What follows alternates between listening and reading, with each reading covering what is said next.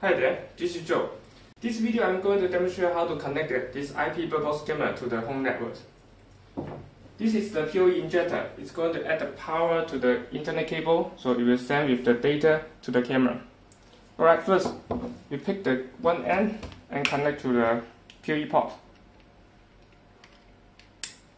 Now we pick a small punch punch code, connect to the LAN and link to our main router. So PoE injector will get the data from the router. It's better to turn off the power before we make the full connection. Then we connect the AC,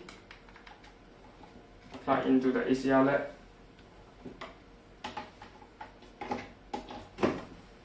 Now we can connect the camera.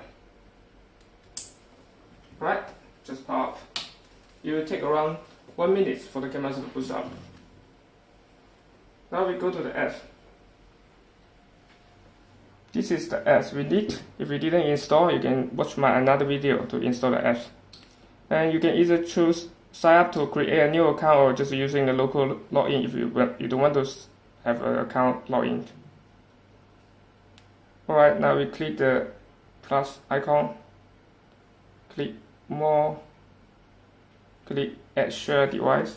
Please input device serial number or paste device information code. Now we choose the scan QR code.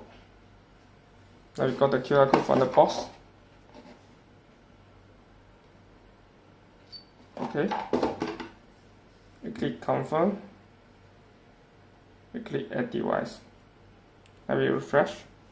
Now we can see the cameras ready. Okay, the camera's live.